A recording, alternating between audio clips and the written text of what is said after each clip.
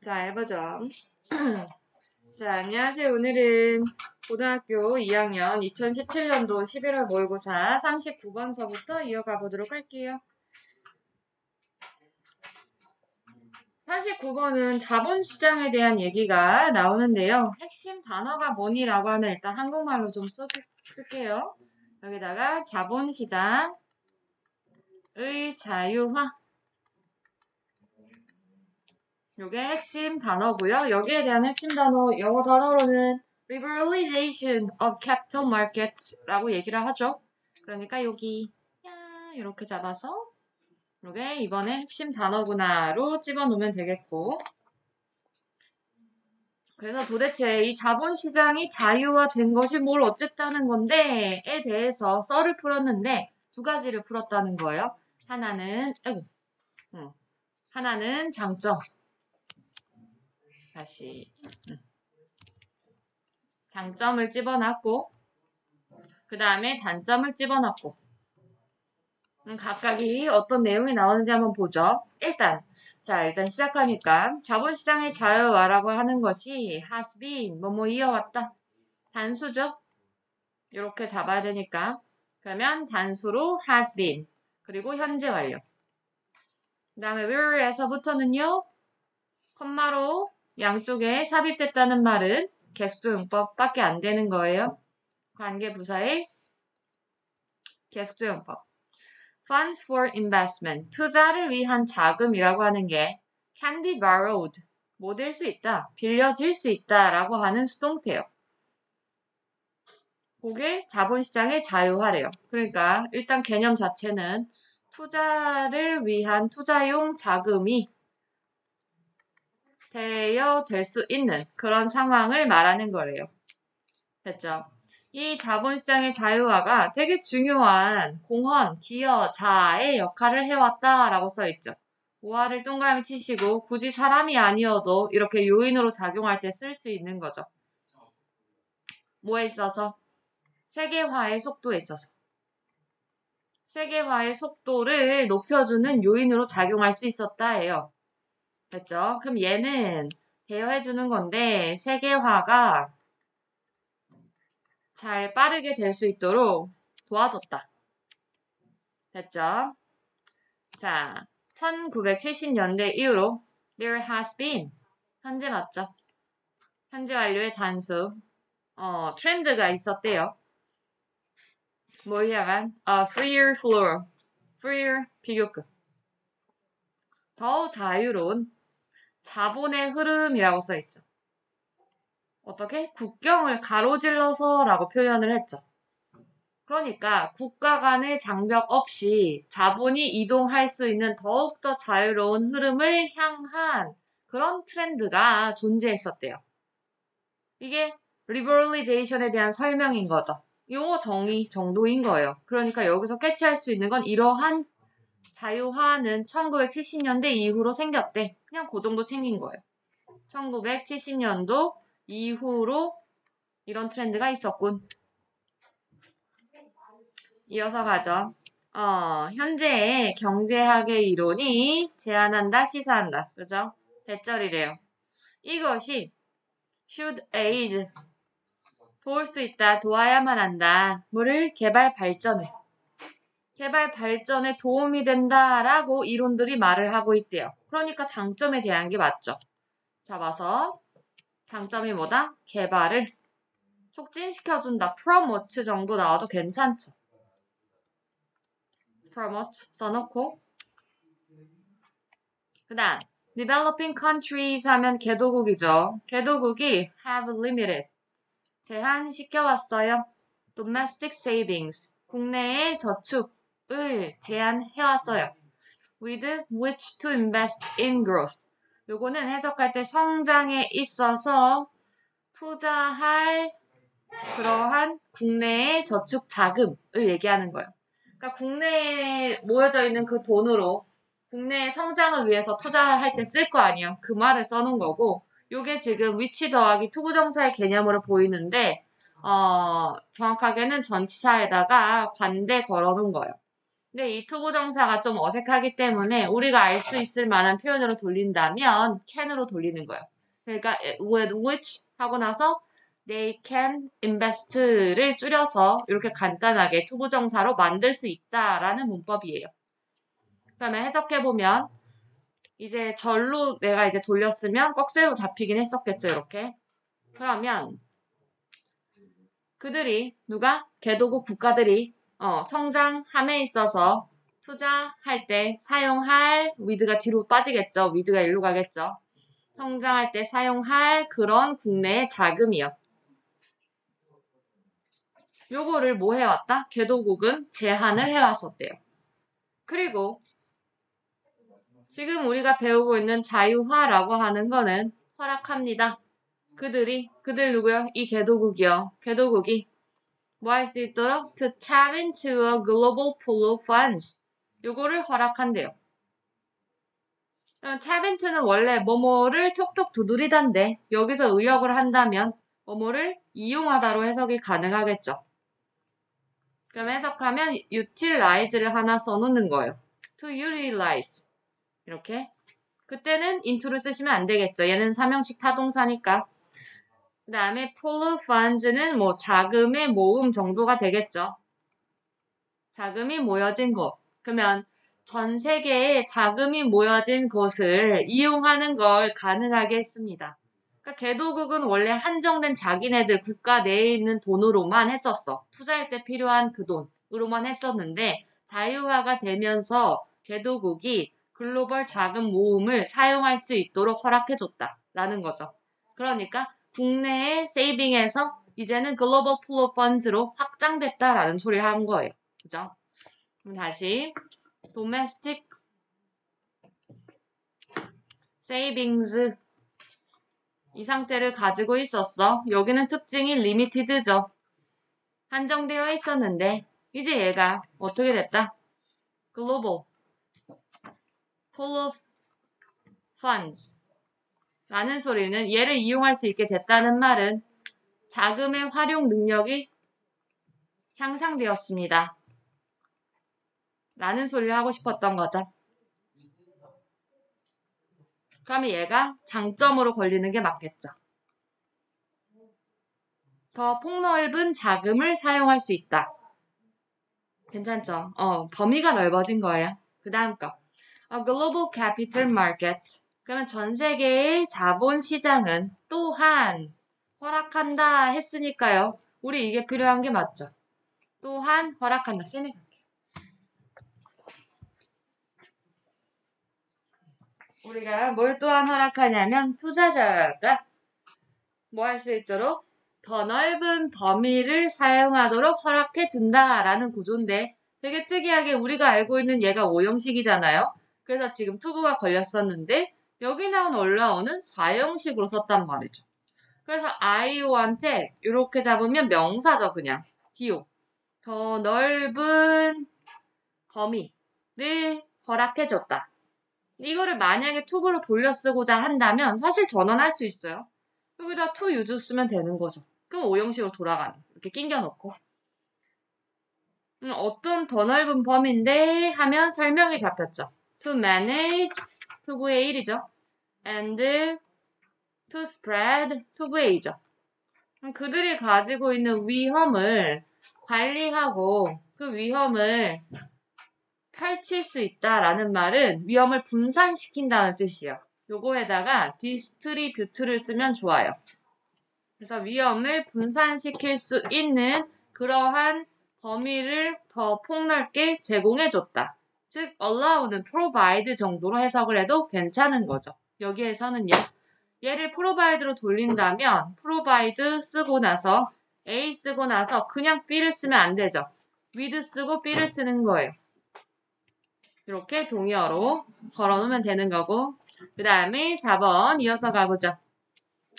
여기 일단 정리 좀 써본다면 음, 더큰 범위를 제공했다. 투자자한테 더 큰 범위를 이용 가능하게 했다라는 소리는 얘가 하는 역할이 두 가지라고 했죠. 첫 번째는 위험을 관리가 가능하게 해줬고 두 번째로는 위험을 뭐 할 수 있게 분산시킬 수 있게 해줬다. 해서 두 가지 특징을 걸어놓으면 돼요. 당연히 투자자가 이걸 누릴 수 있게 해줬습니다. 였겠죠? 그 다음, 이제 이어서 가보는데, 여기 East Asian Crisis 하면 동아시아의 위기라고 나와 있죠. 늦은 1990년대 후반에 그 아시아의 위기가 came, 왔어요. 이렇게 이러한 종류의죠. 잡아서 이러한 종류의 더하기 명사요. 이러한 종류의 자유화랑 같이 왔다라는 소리를 하고 있는 건데 여기 in the wake of 요거 수거처럼 잡아요. 이렇게 한 번에 잡아서 여기다 A라고 쓰고 A의 결과로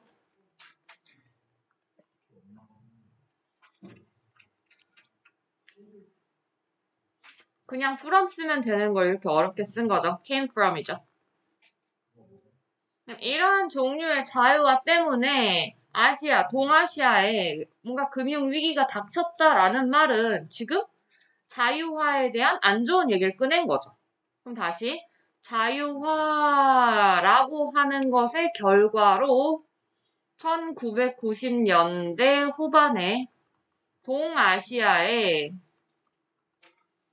금융의 위기, 금융이라는 말은 생략됐지만 금융 위기가 도래했다라고 한 소리는 지금 끊긴 거죠. 이렇게 장점과 단점이 끊겼단 말이죠. 그럼 당연히 눈치껏 위에 문장 삽입하는 유형에서는 여기에 앞에 하지만 단점도 있어 이런 말이 잡히면 되는 거였겠죠. 올라가서 확인을 거꾸로 해볼게요. 자, 하지만으로 잡았죠, 당연히. 하지만 일부 사람들은 생각을 한다. 뭐라고 하냐면 이렇게 더욱더 자유로운 flow capital이 한 단어로 보여야 돼요. 자본의 흐름. 자본의 흐름 이라고 하는 것이 이게 누구를 정했던 말이지? 이걸 정확하게 어, 색깔 돌려서 살펴본다면 트렌드가 있었는데 뭘 향한 더욱더 자유로운 자본의 흐름. 국경을 가로지르는, 즉 국가 사이에 넘나드는 더 자유로운 자본의 흐름의 추세가 뭐였다? 이게 바로 우리 노란색으로 잡아준 용어였던 거죠. 그러니까 얘는 결국 한 단어로 바꾸어 보라 라고 한다면 liberalization을 써놓으면 되는 거예요. 결국에 자유화라는 말을 그냥 또 쓰기 뭐하니까 돌려놓은 거죠. 자유화가 뭐 했더라? has raised 증가시켰다. 잘 알아야 되는 게 rise랑 우리 비교해야 되죠? rise는 1형식이고 raise는 3형식이요. 바로 목적어 쓰는 거니까 바로 잡고 전치사 낑기면 틀리고 그죠? 그러면 뭐 해왔다?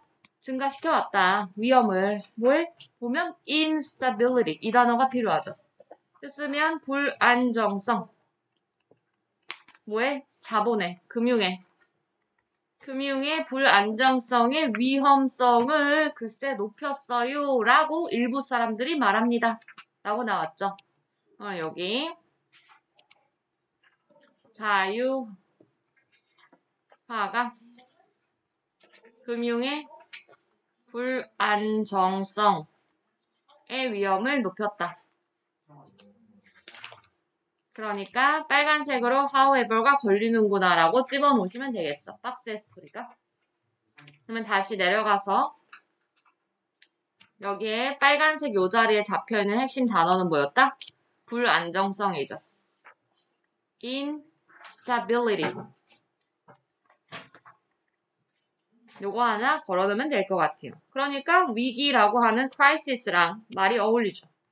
그죠?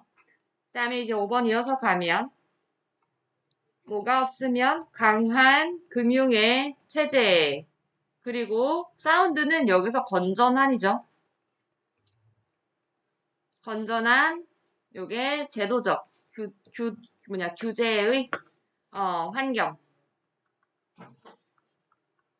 이런 것들이 그러니까 국가의 뭐랄까 자본 경제 체제 기반 이런 게 잘 다져져 있지 않으면 사실 개도국의 얘기죠.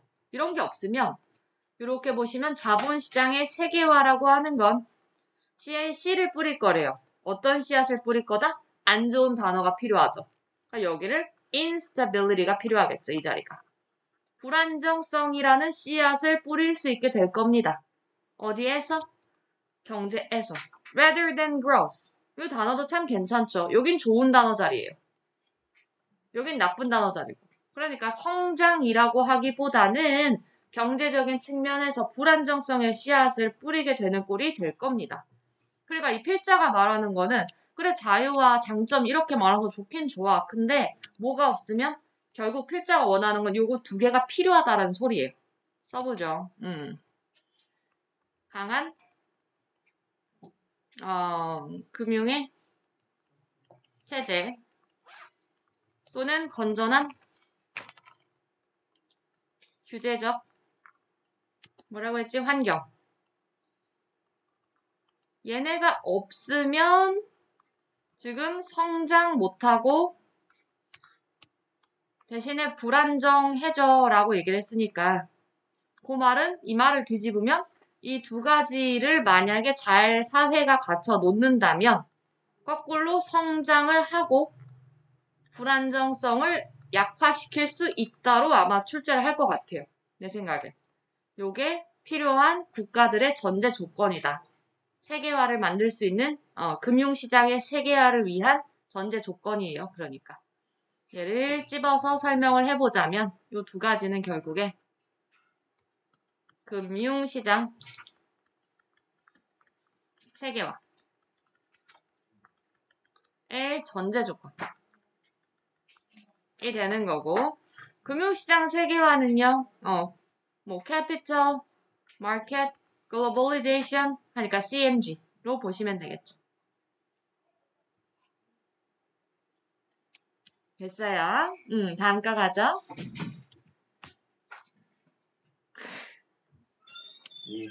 아이, 자, 40번이요. 40번 지문을 보고 깜짝 놀란 게 이게 대학원 때 봤던 그 경영학에서 읽은 수많은 논문들의 바, 바탕, 근간을 이루는 되게 유명한 논문에서 발제하신 것 같아요. 유명하죠. 왜냐면 이걸 언제 배웠냐면 쌤이 비교 문화 수업에서 배웠어요. 그리고 거기 비교 문화에서 제일 중시하는 개념 중에 하나가 바로 권력거리예요. 여기 power distance는 거기에서 말하는 진짜 핵심어. 음, 마치 우리 막 수학에서 너 덧셈 뺄셈 알아? 거의 그 정도로 비교 문화에서는 핫한 이슈예요. 그래서 권력거리라고 하는 게 이제 용어예요. 어떤 용어냐면 이렇게 뿅 꽂아놓으면 어, used to 알고 계시죠? 투부하기 위해서 어, 사용되다라는 거죠. 투부하기 위해서 사용되는 네, 여기 refer to가 이제 정확하게 보시면 refer to a죠. 뭐뭐를 언급하다로 걸리는 자동사예요, refer to가. 그래서 a를 언급하기 위해서 사용되는 이제 그러한 용어입니다. 라고 써 있고요. a 자리가 뭐가 잡혔는지 봤더, 봤더니 how부터 잡혔죠. 얼마나 폭넓게 잡고 이렇게 보면 어, 동등하지 않은 권력의 분배가 수용되어지는지 누구에 의해서 문화의 구성원에 의해서 불평등 정도를 문화 구성원이라는 말은 그 국가에 사는 사람들이 얼마나 받아들이고자 하는지의 폭을 얘기해요. 그래서 이게 부사자리라는 걸 우리는 문법적으로 생기고 그 이유는 완벽해서 목적 없고 수동이고 완벽한 거죠. 그러니까 여긴 부사 자리예요. widely. 개념을 정리해 보죠. 음, 얼마나 구성원들이 불평등의 분배를 수용하는가? 뭐의 분배? 권력 분배. 권력의 불평등한 분배를 얼마나 수용하는가가 뭐다? power distance, PD.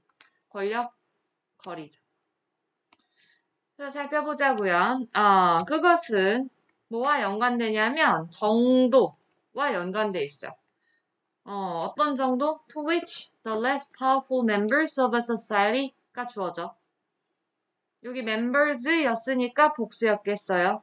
그러면 한 사회 속에서 덜 힘을 가진 그러한 구성원이 쉽게 말하면 약자가 받아들이는가?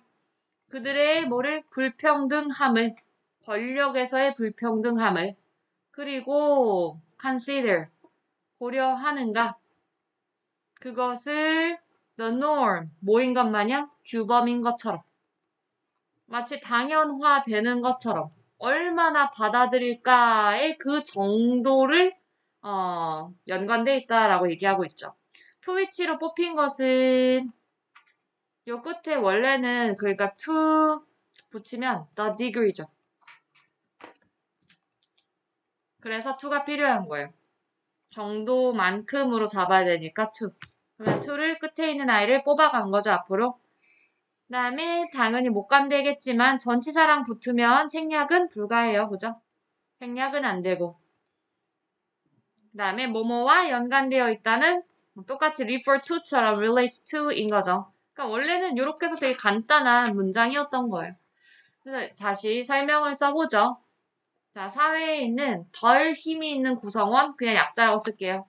약자가 뭐 하는가? 권력의 불평등함을 뭐하는? 받아들이는 첫 번째, 받아들이는 정도. 두 번째, 권력의 불평등이라고 하는 것을 규범으로 간주하는 정도. 그러한 정도가 어, 연관이 되어 있대요. 됐죠?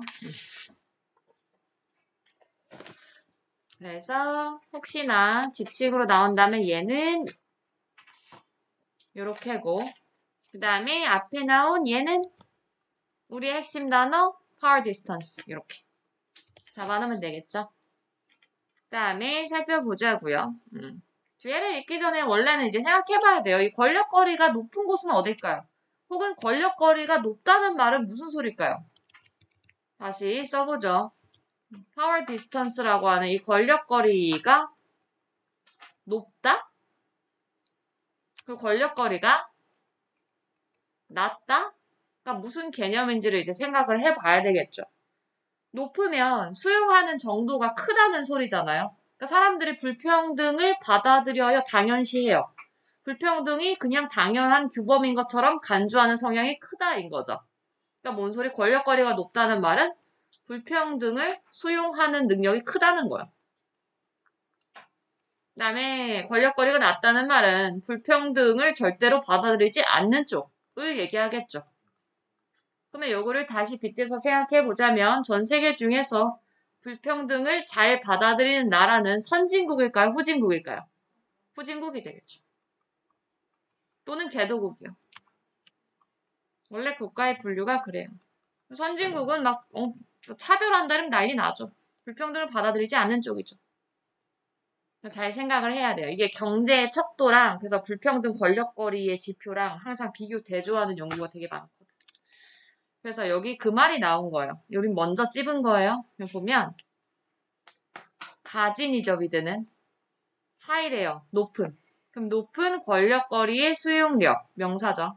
수용력을 가진 그런 문화 속에서 예를 들면 나오죠. 인도나 브라질, 그리스, 멕시코, 필리핀. 맞죠? 이런 나라에서는요. 사람들이 어떨까요? are not viewed. 수동태로 걸었네요. View에 대해서 거꾸로 생각을 해보면 우리가 문법적으로 이러죠. view 하고 A as B죠. A를 B로 간주하다 바라보다죠. 근데 지금 A가 빠져 있으니까 수동태가 맞는 거죠. 그 다음에 as B는 그래서 등장한 거예요. 이렇게. equals는 명사로 쓰일 수 있어요. 그래서 동등한 것, 대등한 것이란 뜻이에요. 다시 해석을 넣어보죠. 사람들이 여겨지지 않습니다. 동등한 것으로서 여겨지지 못합니다. 그리고 everyone, 모두가 단수 취급 맞죠? has, 단수 맞죠? 가지고 있어요. 어, 관부형 명. 됐어요. 다시. 관, 부, 형, 등이 있으니까 형. 그리고 명. 관부형 명은 어순을 꼭 챙겨야 되는 거. 그죠? 나머지 빼버리고 다시 보죠. 명확하게 정의되어진 또는 명확하게 할당되어진 그러한 곳을 가지고 있대요. 이걸 포지션으로 해석하셔야 되겠죠. 위치나 지위를 얘기하는 거예요, 지금. 그 다음에 얘는 형용사 걸린 부분은 물결 잡아서 양쪽 다 PP로 걸어놔야 되겠죠. 그러니까 본인이 해야 될 사회 계급이잖아요. 이게 사회 계급 속에서 명확하게 자기의 위치가 정이 내려져 있고 그 다음에 이미 뭘 해야 될지가 할당을 받은 상태라는 거예요. 어, 그게 명확하다는 거지. 되게 슬픈 얘기예요. 마치 뭐 우리가 흔히 말하는 금수저, 흑수저처럼 갈라져 있으니까 그 사회 계급도로 타고 올라가기가 힘들다는 얘기예요. PP는 수동이니까. 이미 받은 거니까, 할당 받은 거니까. 그죠? 다음 거. 요 문화는 당연히 예측하건데 어떤 문화일까요? 낮은. 그쵸? 그러면 여기 나오죠. 핀란드. 살기 좋다고 하죠. 어, 노르웨이, 뉴질랜드, 이스라엘. 이스라엘도? 음. 이런, 이런 문화들. 이런 거 막 빈칸 뚫어서 내고 막 이런 음, 그러지 않겠죠? 음. 자, 사람들이 믿고 있어요. 뭘 믿냐면 불평등. 야, 이거 안 좋아 이러죠. should be should까지 얘기했어요. 강하죠. minimum. 이 단어 중요하겠죠. 음. 최소화된이란 뜻이죠. 불평등이 진짜 최소한 만큼만 있어야 돼. 라고 생각을 하시고요. 콤마 이 생각 끊었죠. 어, hierarchical division is viewed as 이렇게 걸려있죠. 수동태 as 빼내시면 되겠죠. 일단 단어를 하나만 챙긴다면요. hierarchy 있죠. 저거는 명사랑 형용사 형태 기억해 볼게요. hierarchy 계급 얘기하는 거고요. hierarchical hierarchy 요거는 계급의 계급 뭐 제도의 라는 형용사요.